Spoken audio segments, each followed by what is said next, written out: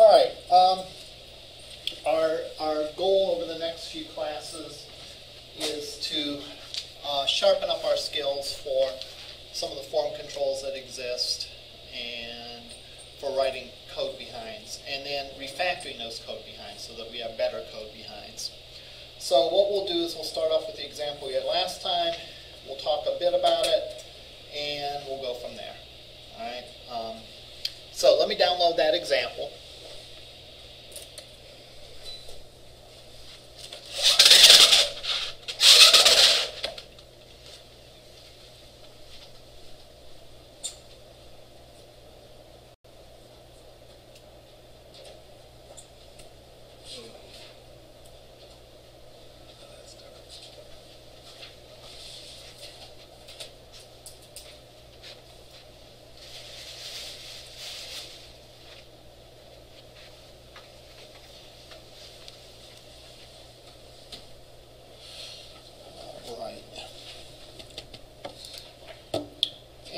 Example we had last time was to do a little tip calculation.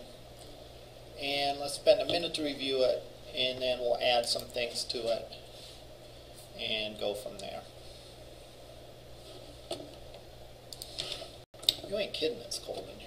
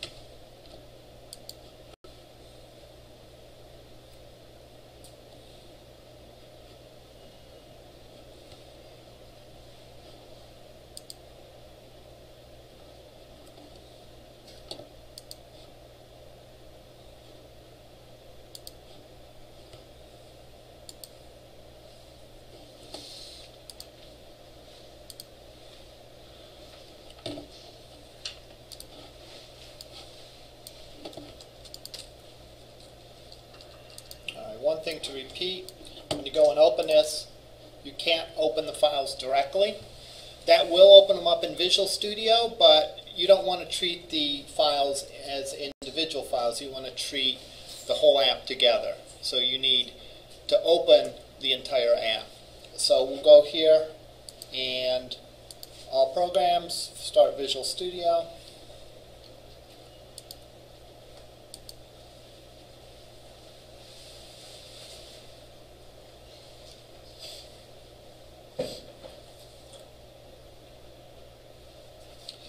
Go and we'll be sure to select an open website so that we get the whole package. All right.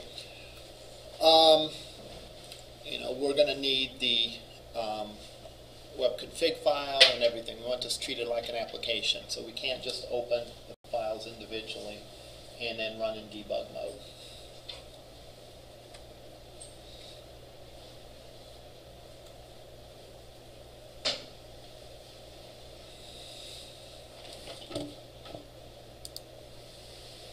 So we'll go to open,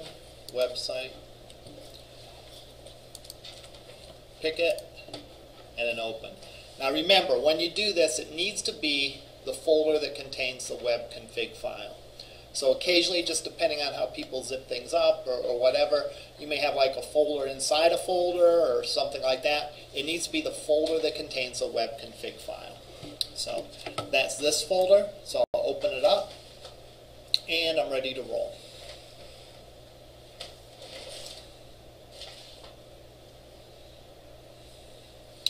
If you recall this example from last time,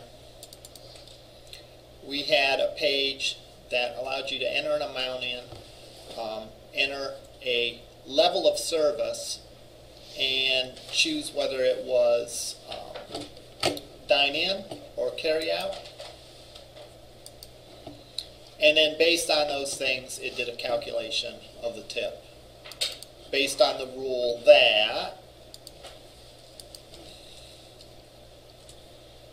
There's no tip on, um, oh wait. There's no tip if the service is poor. There's a 15% tip if it's average. There's a 20% tip if it's excellent. Actually, I did not take into account whether it was carry out yet.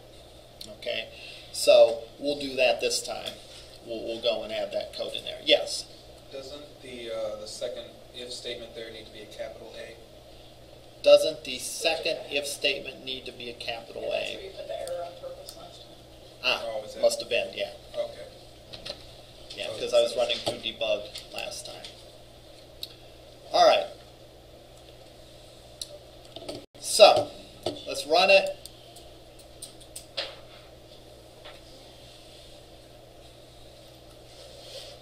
Notice that we have validation.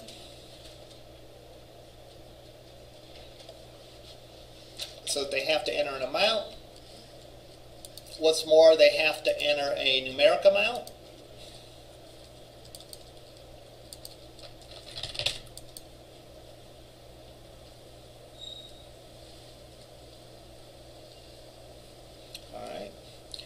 We don't have validation for these two because right now we really can't. All right. The quality of service, we only have those three options there, and be one of the three. Right. Um, a drop down always has a selected value in, in HTML. Uh, if you don't specify one, it's going to be the initial one on the list. Now, depending on your application, that may or may not be a good thing. All right, depending on the particular particular problem that you're working on. In this case, is it a good idea to default the service to poor? That's probably a pretty pessimistic attitude, right? What would you default the service to? Or would you default the service at all? You might default it to average. You know, it's average for a reason. All right. Let's see how we do that. Yes. Unless you had one at the top that said, uh, please select an option in the box. That would be another choice. You could you could put sort of a dummy answer on the top that says please select an option. So let's look at doing it both ways. All right. If you don't do anything, it's going to be the top option. All right. And that's probably in this case not a good idea from a design perspective. Again, always have your designer hat on too. In other words, don't just figure, well, I need a drop down. Figure out, well, how is this form going to be most useful? Yes. Is there a way to validate whether they've changed the d- the dummy text on the Dropbox or the dummy? Yeah, and we'll look at that. Okay. Yeah, we'll look at that in a second. First thing I'm going to do is I'm going to just default it to average. All right. How do I do that? I can go into my list of items, edit items, and I can put under average, I can say that that is the one that's selected. All right. Now it will default to average when I run it. When you, if you had had something selected before, would that change everything? Check, just changing one, would that change the other one that, No clue. In other words, if you if you said all of them are selected, yeah. um, I don't know. Um, my guess is is that it would either go back and change all of them to unselected, or it would set multiple of them uh, uh, as selected. In which case, probably the last one that was selected would hold. All right. Could, could you show what you just did again? Just now with, uh, Yeah. I went in here, under edit items, and I just picked that guy as selected. Let's take an optimistic view and change it to excellent to answer your question. Yeah, it kept average as selected too. Which means that um, it's going to pick one of them. Wh- Whether it picks the first or the last, I don't know.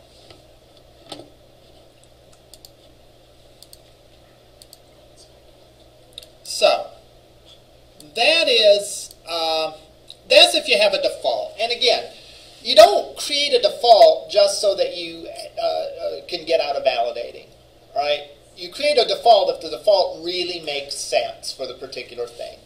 For example, considering your tuition uh, calculation assignment, your next assignment, is there anything that makes sense to default in that? Lorain County. Yeah, it probably makes sense to, to default to Lorain County. Um, I'm sure there's some statistics there, and I'm sure the statistics would point to the fact that, you know, a good percentage, a good majority of the students here at LC are from Lorain County. So it makes sense to default it in that in that case. It doesn't make sense to default it when there's no clear choice.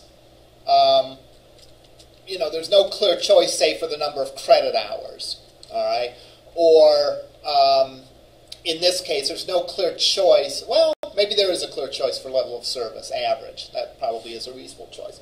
But let's say we had a drop down where a student would pick a major. There's no clear choice for that, right? There's probably more popular and less popular majors, right? There's more enrollment and low enrollment, but there's not a major that I would feel comfortable with saying, well, that's the default major. If you don't major in, if you don't change a major, I'm going to assume it's nursing or accounting or whatever. So you pick defaults based on that. So the one approach we did was to put a default here, all right? Um, the other approach that we're going to take is, oops,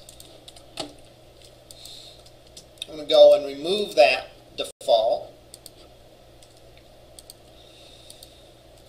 The other default, the other thing that we can do is we can add a dummy item at the top.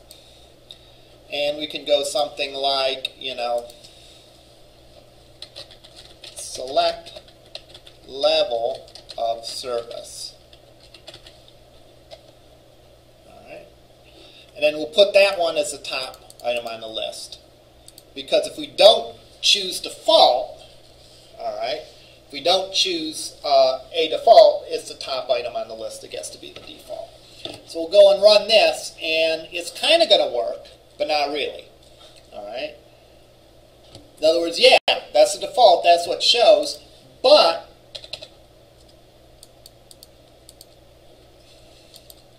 we shouldn't be able to go in and click calculate if they haven't defined the level of service. In other words, select level of service is like a non-answer. It's like an empty answer. So what we want to do is we want to validate it to make sure they've picked something other than that one. All right? How do you do that? You do that with a required field validator that you tweak a little bit. All right? So let's go in here and let's create our required field validator.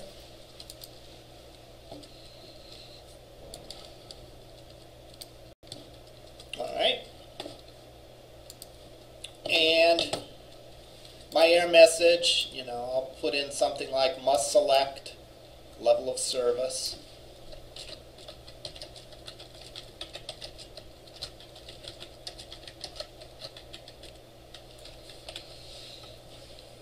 I'll say it's associated with this particular control to validate, which is DD service. Down here, I'll put the initial value. And the initial value is the value of the dummy text. All right? In other words, the initial value are the words select level of service. So I'll put that in. Select level of service. Now when I go and run this, if they don't take, they don't set a level of service, I get the validation error and it doesn't go and do the calculation. So the idea again is is when you specify required field validator, you can special you can specify what the initial value is, and if it changes from the initial value, then it's considered to be uh, a value selected or value entered. Otherwise, it's considered to be not a value entered. Now, did you have to like spell that exactly the same? Yeah. In both places, Yeah. same caps? Yeah, um, you know, I, I might make it.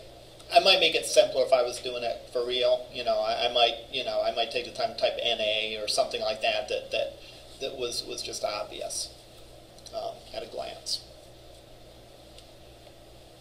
And if we do select something, then it works. All right.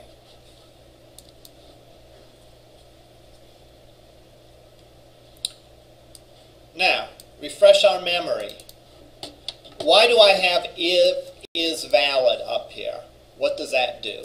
I get a sense that that was a little confusing last time. So let's talk about what if is valid means. If it runs through all your conditions for double checking they entered everything in that, Yeah. If all the validation controls pass, then it's valid. Otherwise, it's not valid. Now, the reason we put that code in is in case JavaScript is disabled.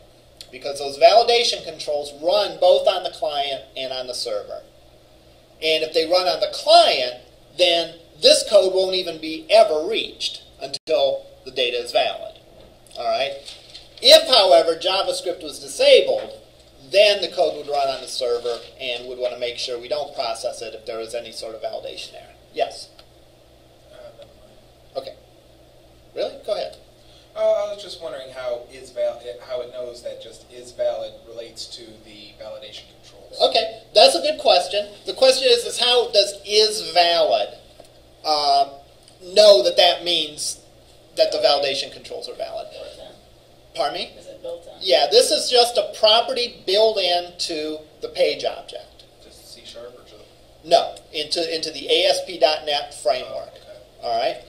So remember, what's the whole idea of a framework? The whole idea of a framework is that it gives you sort of a starting point, a jumping off point. So there's stuff that's built into a framework. All right. And part of understanding the .NET uh, environment and becoming a .NET uh, programmer is learning the stuff that is built into the framework. And this is one particular attribute that's associated with every page, is valid. And that'll be true if the validation controls passed. It will be false if any of the validation controls uh, have detected an error. So yeah, that's that's built in. How do you learn these things? Just over time. All right, this is this is one example, but the important thing is is be aware that there are these attributes out there. So if you're looking at some sort of common functionality, or you're looking at something that you think could be true, you know, gee, I would expect there to be something in the framework to address this, then um, then you have a fighting chance of finding it if you actually go and look at look for it. But yeah, that's a, that's a very good So like question. say if it didn't pass, we could like put an else statement in saying a message, like maybe displaying a message box saying something's wrong on this page? Well, we actually wouldn't need to because the validation controls would would um, Okay, yeah. would would kick in then and would display the errors. Yeah. So you get the same errors, client side and server side. The difference being that if we got the errors on the client side, then it wouldn't even make it back to the server to run this code. Okay. All right. This code's only there as sort of the, the catch-all to catch if JavaScript is disabled, and then the validation controls kick off, and the, the results will be displayed, and then you uh, you know, but you need to, to stop the rest of the processing if there is an error with the validation. Yes. So the running of those validation controls is, is also built in. Yes. And, That's a default behavior is to look through all the validation controls on the page and, and run through their tests. Yes. That's all. I'm just wondering side. why this even gets called if, because if you're saying it, .NET must automatically generate more HTML and send it back to the client so that the client sees those error messages. Okay, I'm not, not fully understanding your question, but I, I- think it's an important one because it's, it's important to know, to have a sense of how, you know, how the overall flow of these things work and how the client server communicates. So, so try, try rephrasing your question. Okay, let's say JavaScript is disabled Okay. JavaScript is disabled. So the submit or the click calculate. Right. Comes back to the server. Yes, The server's gonna run those validation controls. right. And then you said, I thought you said, at that point, the client would see the error messages. So I'm assuming the server is actually sending some more Yes. HTML back Yes, And It is their job is disabled. yes. to put, to show those Right. error messages. So then I'm wondering why even bother call this function? This function gets called if the button is clicked and we've called the server. If we've called the server as a result of the button being clicked, this will get called. Come hell or high water, as they say. Okay. All right? So that will get called. Now, there's other things that get called that are built in the framework, right? The page load event, which is up here, gets called. So there's some code that we can put in every time the page loads. We can do something if we need to. Um, build into the framework, all the validation controls get called. All right?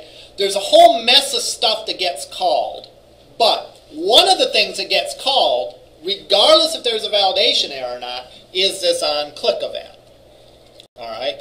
So, um, we know that in the case of the data being invalid, we don't want to do a calculation. All right? But that event still is going to get called. And therefore, we still need to go in and keep any real damage from being done. All right? As a result of the validation controls fired off. So, to, to answer your question, um, you know, there, there's a mix, you know, these things are part of the framework and, and they get triggered in a certain manner automatically. Um, there's a certain number of things that happen sort of behind the scenes. Those validation controls getting fired off is one of them. And there's certain things that, that happen that we kind of have control over. And this is one of those, the on-click event. All right?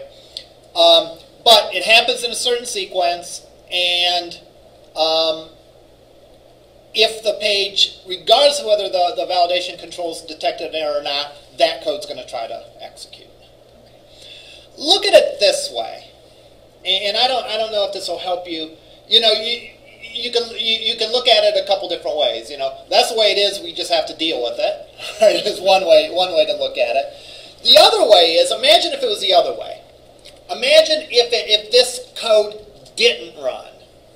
All right uh, when the validation controls uh, had an error. All right? And let's imagine that was built in the framework. It would be impossible then to write some code here, all right, to do anything. Would be locked out of doing any sort of processing if those validation controls failed. All right?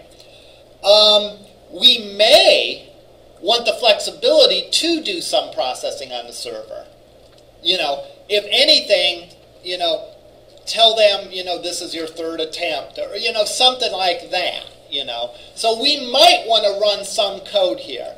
By having this, this event firing off automatically, we then have the flexibility to say, yeah, we can do some code. No, we don't want to do some code. If it was built in the framework, then we could never run any code here.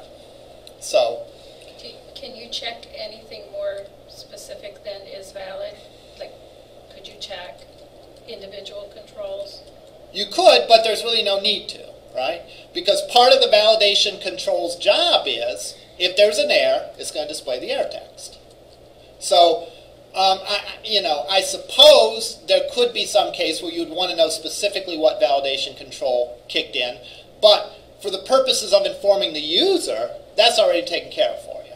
Because if that validation control gets an error, it's popping up the error message. So that'll happen. All right? Yes. When you just said you could send them a message saying this is your third attempt or something. Yeah, like I guess. Would that be where like, is this where you would do it if you kick somebody out, if you only let them? try Yeah, um, Again, I, I can't imagine a real sort of, of validation like this um, where, where you do this. But yeah, you could have some logic on this else statement to say, if it's valid, do this, otherwise, do something else. But yeah, that, that's where you, you would do it. Otherwise, keep going. Yeah, I guess. You, you could do something like that, yeah. Normally for this sort of validation, you know, you, you know, there's other kinds of validation you give people a limited number of tries, like password attempts or whatever. That's what I meant. Yeah. Even if it were that. Would Yeah. custom control, uh, custom validate control do that? Work? Um, could you may, yeah, you could do something with that probably. Okay. All right. Okay, Next topic. so I, think those discussions are important because if how do I want to say this? Stuff will be surprising to you if you don't really understand the way the client and server are talking to each other. All right. So therefore, any sort of these questions, and these questions that, that you're asking really is sort of of the nature of, you know, gee, how are how is a client and server engaging with each other? And in this particular case, the server goes, the validation controls are run. If there's errors, it generates the HTML to do that. It will try to do this button click event, and then it will send all of its results to the browser. All right? And then the cycle can start over again. All right, yes. This might be getting way beyond where Hmm? we want to go today, but, um, is there like an instance of this for each client that you're, um, interacting with? Is there an instance of what? Uh, well, I don't know what class we're inside here, but We're, we're in we're in the code behind for the page. for the page, okay, well, you might have a thousand Yep. clients out there accessing that Mhm. same page. And so if you were doing a count of how many times one particular Mhm. Page tried, you know, kept submitting and was invalid, Mhm. um, I'm just wondering, how do you know? Is there one of these uh, pages for each client that's Well- accessing it at the time? Well, let's think this through. All right? Let's think this through. And let's think that this is not this is not, you know, something silly like a tip calculator. Let's say it's something more substantial like um, checking out from Amazon. All right? So same idea, same sort of thing. There's a form that you enter in. Different stuff on the form, different blah blah blah blah blah. Let's think about this. Let's try to think it through, perform a thought experiment, and let's think what would happen if there was only one instance of this stuff for everyone that was using it.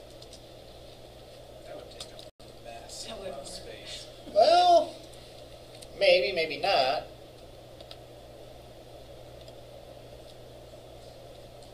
L- Let's say, forget, uh, uh, don't think like a programmer here, think practically. If we shared a shopping cart, if we went to Giant Eagle and shared a shopping cart, all right, forget about the web, all right, what would happen?